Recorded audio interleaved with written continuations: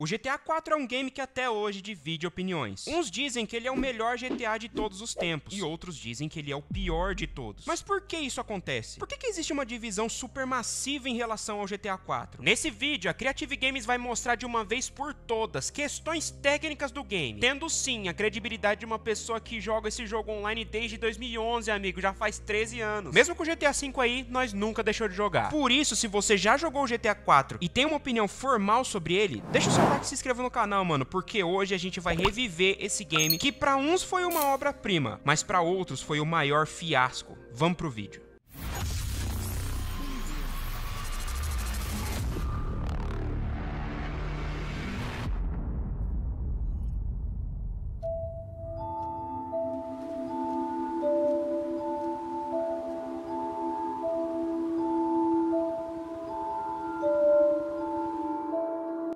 Para quem só tinha o PlayStation 2 na época e assim como eu não tinha condições de comprar o PlayStation 3 e o 360, ficava no GTA San Andreas mesmo. O que não é ruim. Só que em 2008 o GTA 4 já era a novidade do momento. Eu mesmo na época assistia vídeos de GTA 4 no YouTube com compilado de batidas e explosões no game.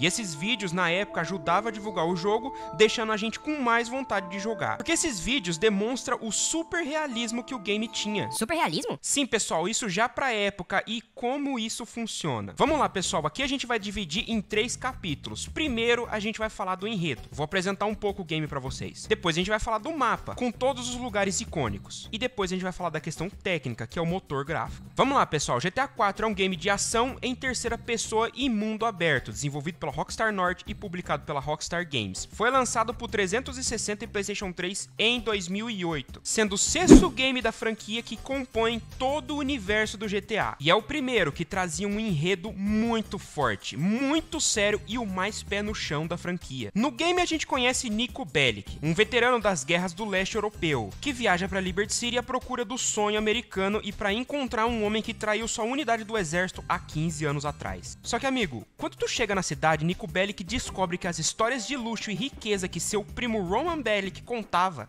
eram todas mentiras para esconder o fato de que ele tá lutando contra dívidas e agiotas, além de morar em um apartamento sujo ao invés de uma mansão que ele tanto contava. E pessoal, olha só, aqui o jogo aborda exatamente uma sátira de como é a vida de um imigrante nos Estados Unidos de forma dramática. E Nico Bellic é um cara frio, exatamente o monstro que a guerra criou. E lá ele acaba tendo que trabalhar para criminosos tais como a máfia russa e não pensa duas vezes antes de cometer atrocidades para ter suas missões cumpridas. Beleza, a gente já falou do enredo, agora vamos apresentar um mapa. Pessoal, Liberty City, baseado na cidade de Nova York. O desenho da cidade centra-se numa recriação de quatro das cinco partes da cidade de Nova York. Broker, que é baseado no Brooklyn, característico da época. Dux, que é baseado no bairro Queens. Bohan, que é o Bronx, e Algonquin, que é o centro de Manhattan. Também é recriada três ilhas menores: Change Island, baseada em Randall's and Ward's Island, Colony Island, que é baseada em Roosevelt Island, e Happiness Island, que recria Liberty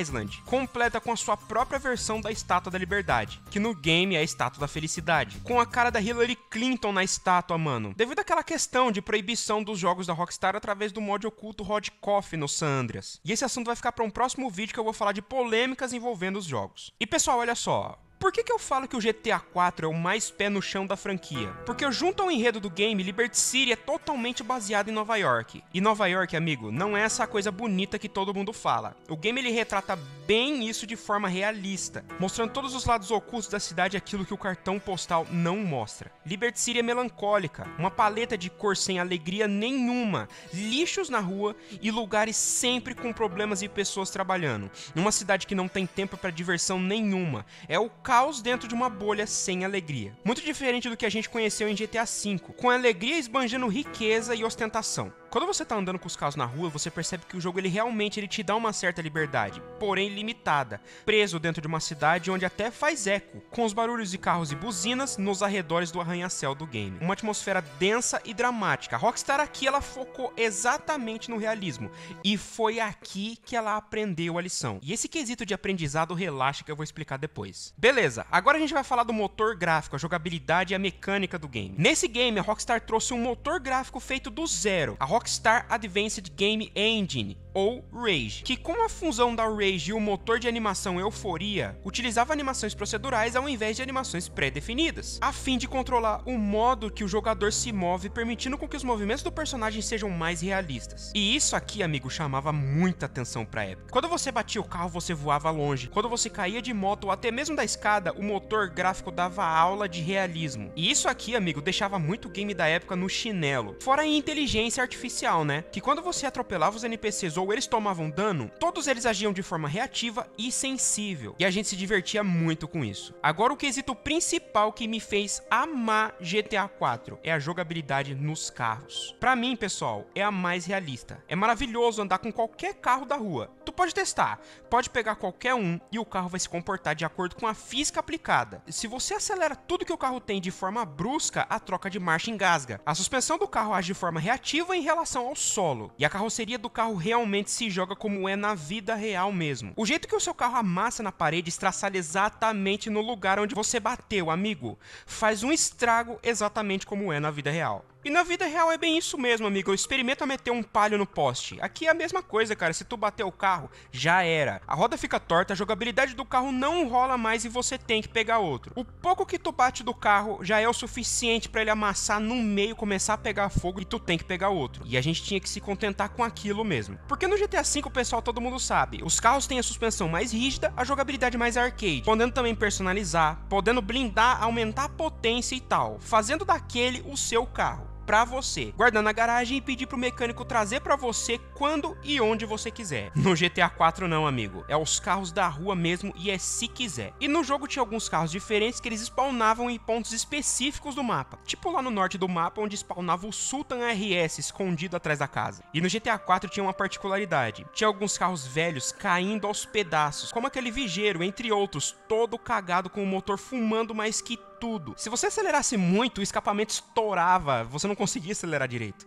E agora falando em GTA Online, o GTA 4 também era bem limitado. No modo livre, ele te colocava em meio à cidade, só com uma pistola e as armas da rua e se vira. Não tinha apartamento, não tinha casa, era você no meio da rua mesmo e amigo. Aquilo aguçava a nossa criatividade. Quem queria aprontar, ia lá pro aeroporto, onde era o do mapa online. E lá todo mundo tretava mesmo. Quando a gente criava uma sessão online, a gente podia tirar a polícia e ficava só a guerra de players mesmo. E a gente brincava de tudo, amigo, desde pular rampas, a gente brigava de bazuca um contra o outro e sniper, ou saía bagunçando pelo mapa mesmo. A maioria dos meus amigos eu conheci online através do GTA 4, e como a gente sempre foi competitivo, o mata-mata desse game também era fantástico. A gente jogava na mira livre, onde esse modo definitivamente não era para qualquer um. Eu já participei de vários mata-mata como esse que você tá vendo aí. Sim, pessoal, sou eu jogando e eu sinto saudade demais. E pessoal, olha só, lembra lá atrás, em relação ao realismo do game, que a Rockstar aprendeu a lição? Então, a questão é, nem todo mundo gosta de algo muito realista, e foi através do GTA 4 que a Rockstar aprendeu isso. Uma jogabilidade realista um tanto quanto complicada, um ambiente onde a melancolia da vida real de Nova York torna o game sem alegria e sem cor. A jogabilidade física aplicada do carro onde você bate e já era. A falta de velocidade dentro de uma cidade onde o trânsito é caótico e as ruas estreitas em meio ao arranha-céu. Então, nem todo mundo gosta disso. E foi por isso que no GTA V eles arrumaram tudo.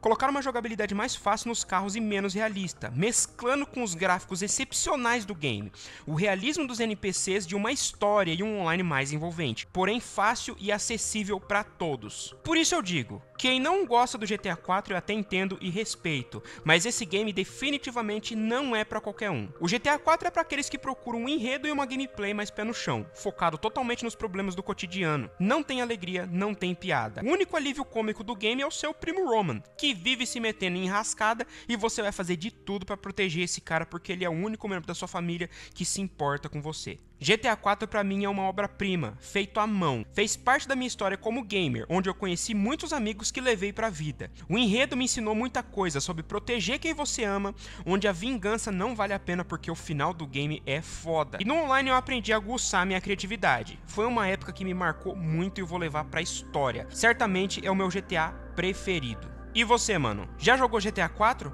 Qual que é o seu GTA preferido? Comenta aqui embaixo sempre com bastante respeito, coloque sua opinião formal em relação a esse game. Eu quero saber de você. E se você gostou desse conteúdo, amigo, por favor, se inscreva no canal, vídeo toda semana. Eu tenho muita coisa para falar de GTA 4, esse só vai ser o primeiro vídeo. Tem meu Instagram lá também, guilherme.creativo, me manda um salve lá que eu tô sempre conversando com vocês. E aos membros do canal, um abraço para todos com dois reais, piazada. Você pode ser membro do canal Creative Games tendo o seu nome no final de cada vídeo meu.